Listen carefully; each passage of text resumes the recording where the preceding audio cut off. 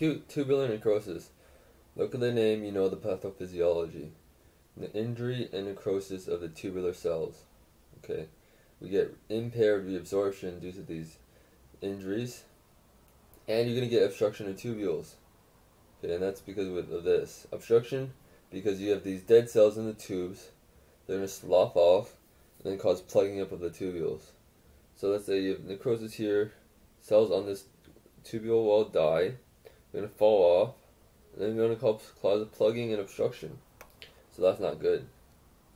Now, etiology. What can be causes of cell death of these tubular cells? The etiologies are either ischemic or nephrotoxic. Okay. Ischemic is if you have poor renal blood flow. Look at all these blood vessels. These all these blood vessels supply these renal tubular walls. These renal tubular walls need blood too. And if they if you don't get enough blood, they're gonna get necrosis. And the two most common places you get necrosis are actually the proximal convoluted tubule and then the ascending limb. Okay. Next, you can also have nephrotoxic problems because you have all these toxic substances that get filtered through the kidney, and then they're going to be in contact with these tubular cells. They're going to cause damage. Unfortunately, you need to memorize these ones. So, imaging contrast. That's why a lot of times when you when you think about giving getting a patient a CT with contrast, you really need to think about their kidney kidney um, function because if you you run the risk of damaging their kidneys even more and really just messing them up. So that's imaging contrast can cause kidney damage. Medications, aminoglycoside cisplatin can cause acute tubular necrosis. And then the last two are rhabdomyolysis and tumor lysis syndrome. And these can cause production of all these extra toxins of myoglobin urate that are not good for your kidney cells. So, imaging contrast, medications, rhabdomyolysis, tumor syndrome. Clinical features. What are you going to see? Remember, this was basically intrinsic renal failure, which I talked about. Intrinsic acute kidney injury. So what's going to happen? What happens? How do we even define that? Remember, what was the the the way we can diagnose it? When we said it was either increase in serum creatinine or decreased urine output. So that's what you're going to see here. Do you remember what, what, what characteristic cast that we saw with acute tubular necrosis? Remember that characteristic cast was the brown granular class cast. So again, you already, you already know all this. Decreased urine output, brown granular cast. This is what it looks like. If you ever see this picture, your answer is acute tubular necrosis. Okay, lab features consistent with intrinsic renal injury and we talked about that already. So, but if you want to talk, if you want to review it again, you can do it. Basically, remember we looked at reabsorption. Reabsorption was impaired, and then we looked at urine osmolarity. Urine osmolarity goes down because you have you're not be able to reabsorb that water. Water stays in the urine. Water urine's very dilute. Urine sodium, FeNA. There's decreased excretion. Um, there's increased excretion. Excuse me, because you're not reabsorbing. And then your serum BUN creatinine ratio goes down because you're not reabsorbing that BUN. Okay. Now you're gonna have this oliguria, which is this fancy term for decreased urine output. You can have this for two to three weeks, because that's how long it takes for these tubular cells to recover and to to regrow and have and allow you to have improved kidney function again.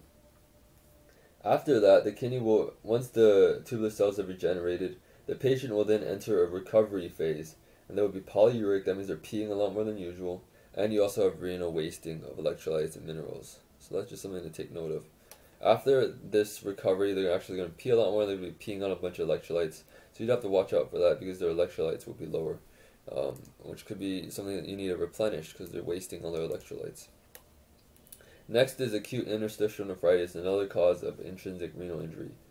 This is due to inflammation of, of the renal interstitium and it's due to a hypersensitive hypersensitivity reaction to medications.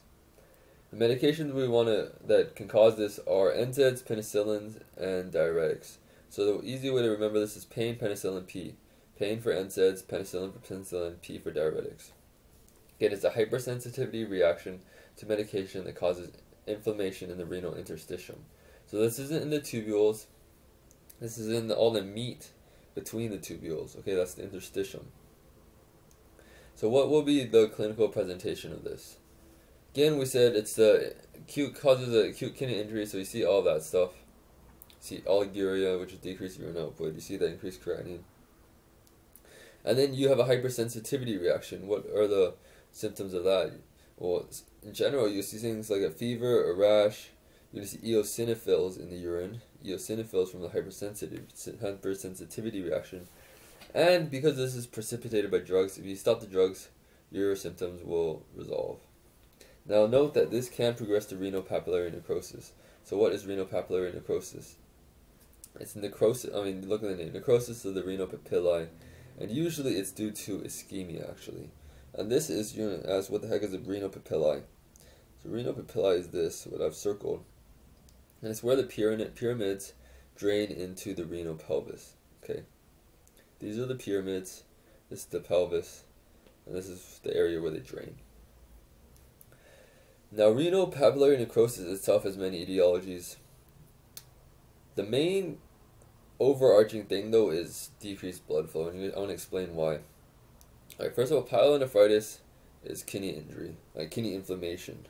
Okay, kidney inflammation, that itself can cause damage, so this is the kind of the exception.